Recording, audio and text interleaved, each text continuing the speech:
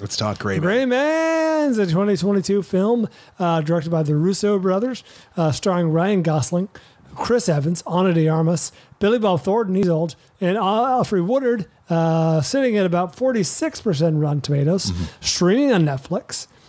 I gotta say, Anderson, this is not a lot, but a little better than 46. It's a, to me, a passable, occasionally amusing thriller. Let me ask you this, I, I enjoyed parts. Parts I found Bryan- myself uh, hoping they would get to the next part. Bryan assigned me this movie. It should be pointed out to you. Let's- Let's make that perfectly clear. I would not have watched Gray Man on my own. Did, you liked it though. Uh, when did you look up the old uh, Rotten Tomato? I ask this all the time. I don't. I want you to look at me in the eyes. Oh, when I was me. researching for this show, so like today or yesterday. before or after you watched the movie. Oh well, a few days after. I watched sure? it last week. Because my movies usually I'll watch. I'll, I'll look it up immediately after I finish a movie, and I'll make my own guess in my head. I'm like, well, I wonder what. I wonder what that is. Oh no, I think I looked it up yesterday. So four-ish days after I saw it. Also, the little girl uh, from uh, Once Upon a Time in Hollywood was in this too. The, She was uh, good. She was very good. Yes, uh, and she's always good. Uh, She's a little bit better in Once Upon a Time, but every, everyone's better in Once Upon a Time in Hollywood. It's a nearly perfect movie. This uh, has been in development hell for at least a decade. John Gray was attached to direct. Charlize Oh, that Theron would've and Brad. Pitt uh, both attached to star.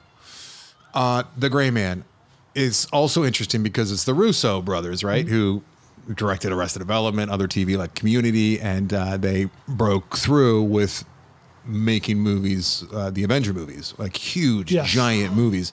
And you got to imagine that their hands are a bit tied over there. So it's interesting and fun to watch them. While this is a PG 13 movie, it is kind of fun to watch them do something that they didn't have to follow the code of the Yeah. superheroes and actually allow people to be very, very uh, uh, uh, uh, sociopathic without looking like buff grimace, right? Like, it, and especially turning on its, on its ear with Chris Evans, as uh, admit, alluded to in our fanfiction, a very charismatic villain. I enjoyed his time on screen, uh, and he is a sociopathic uh, man, as Yeah. Anderson was saying. No, psychopathic. and one of the Russo brothers was one of the writers on this, and I you could tell you can almost feel like they were excising, like you know, just felt free because they had more notes to play with.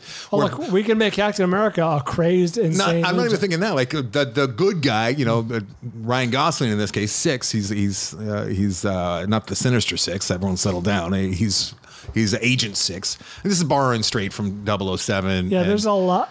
That was my first. Jack Reacher and Bourne and that was John my fir- Wick. yes, all of the above. all of these movies. that was my first thought was if you're going to make a movie that is essentially bits of James uh, James Bond, Jason Bourne, etc., even Atomic Blonde, etc., etc., you got to bring something new to the table. And this movie was very comfortable sitting in that pocket of familiarity. It, it was. Uh, the story had many, many twists and turns. Within 30 minutes, it was just like, okay, where uh, I, did that need mm. to be there? Like, I'm, I'm just trying to follow what should be a simple story, and they're really getting convoluted with it.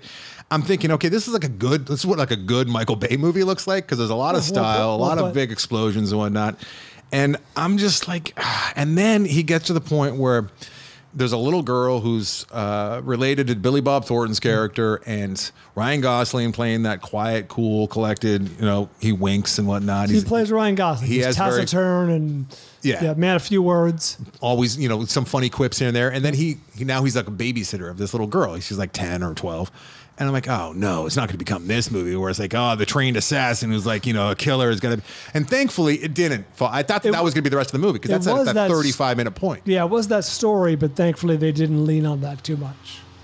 And from that point forward, this movie went down fucking smooth. It's enjoyable movie. I really, really enjoyed this movie. I never saw that happening. I really liked this movie. There was a rhythm. I watched the first half hour again today while doing uh, you know last minute research for the program. I just had it on in my earbuds and uh, open on one of the tabs, just trying to kind of make myself understand why I like this movie so much. I was I opened up the Rotten Tomatoes as soon as it was over and was pissed to see that it was I was surprised too. I was like, "That's not. This is not This is a good movie. action movie. This this is a very fresh. good. This is what an action movie. The, the worst part about it is it's stuck on Netflix. I mean, this would have been a really fun one to see in the theater. Bryan alluded to the uh, drone shots. Like we've seen drone shots now for what ten Well, years, these- these five, are ten years. just inventive. They used them very inventively for to to help expand the action sequences. I was never confused as to who was where and what was going on. They had unrelenting action scenes that went on for 15, 20 minutes, it seemed like. And it was Raid Redemption level at times as I've- far as the choreograph. I've never seen any filmmaker or filmmakers manage potentially overwhelming action sequences so well as the Russo brothers. Even in the Avengers movie, I was never confused by what was going on, and there were 50 principal characters fighting. I would say, yeah, very good point. And I would say that the action sequences were more impressive with this one because there's, I'm sure there's CGI all throughout it, and I recognize some the of impression it. that it was- but it wasn't like a, just a giant cartoon on one side, you know. And I, I just it, the the the music that they used, uh, the the tone, the rhythm. This movie had like a, a rhythm going to it, and it was just a really Yeah. really fun watch. It- it I was stays in its never looking at my clock. It I was stays never in its lane. It, it doesn't challenge you in any way, but it's it goes down smooth. That's a perfect way to say it. It tries to challenge you a little bit with all the twists and turns, and I feel like there was a character or like two that they never right even wrapped up. Mission Impossible. And Chris Evans had some very, very funny, like laugh out loud lines. He Like was some- enjoyable. Like the more you watch that guy on screen as Lloyd, the more you love him, the more you want of him. And it was just, I just wanted more of that movie. It just was fantastic. Can I, tell really, you? really I- loved it. Without giving away what actually happens, I'll just tell you the line that actually got me to laugh out loud, embarrassingly loud in my house. Hmm. and it, it, it it's Gosling's delivery because he's so, like I said, reserved and taciturn. He just goes, "Do you miss your fingers, Lloyd?" Still I getting had used a to good it. chuckle over Still that. adjusting. I had a good chuckle There was over some that. great back and forth. And the critics are just, they're just, I mean, how jaded do you got to be Yeah, why do to you not think like they, this movie? they didn't? What do you I think, think is the the issue there? Netflix backlash. I was It wondering could be if that Netflix was- backlash. especially as pertains to movies. And also, as Bryan pertained, like, suggested that it was it's stayed in its pocket, and we're not seeing anything new as far as the story goes. I don't give a fuck Yeah, about the I feel story. like uh, Rotten Tomatoes will laugh that up sometimes. I don't think it needs to. I thought that they made progress. Like, I like to see progress in every movie, whether it's like a disposable cheeseburger like this, Hmm. or you know something that's you know much more heady. And I felt like, there's Ambulance progress. got great reviews, didn't it? Was it? Ambulance. The Michael did it get Bay. great yeah, I I, think it was sitting there like. I thought it was. Let's see. It's higher than this. You know what? This might be more Netflix uh, backlash than than anything else. Did you Yeah, see it it? got 68, so it was fresh. Did You you, know see what the- you know what- Ambulance? My my roommates really liked Ambulance. Did you did you see it? I did. Oh yeah. It's it's very marginal. It looks like something you wouldn't remember. I will always. I've already forgotten most of it.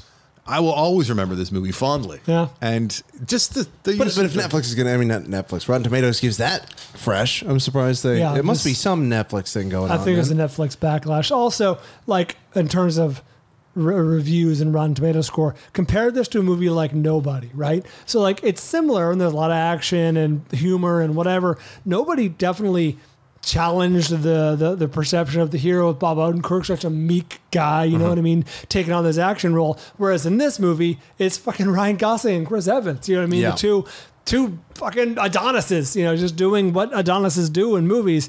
I enjoyed it and it went down smooth, but this is by no means an interesting movie. But it You know what I followed mean? all Yeah. the same tropes that the like Marvel movies do. and The Marvel movies do pretty well as far as the Rotten Yeah, Tomatoes you're score. right. And it That's followed. The, I mean, we know that we're going to see the two. Well, and so it's the- not a spoiler. They're going to fight at the end, Yeah. mono a mono, and there's probably going to be some water effects. Let's Right? see with the Mission Impossibles. I love them. I think they've been great. The the ones that they've made recently, especially, but.